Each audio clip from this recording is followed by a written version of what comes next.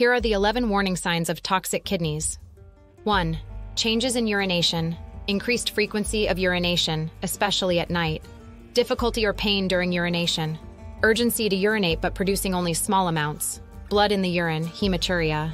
2. Swelling and fluid retention, swelling, edema, in the hands, feet, face, or other parts of the body.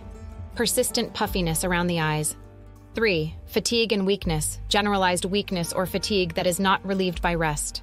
4. Changes in skin tone and itching, pale or ashen skin, persistent itching. 5. High blood pressure. Hypertension can be both a cause and a consequence of kidney problems. 6. Back pain, pain or discomfort in the back where the kidneys are located. 7. Nausea and vomiting, persistent nausea and vomiting, sometimes accompanied by loss of appetite. 8. Shortness of breath, difficulty breathing or shortness of breath. 9. Metallic taste in the mouth, an unpleasant metallic taste in the mouth.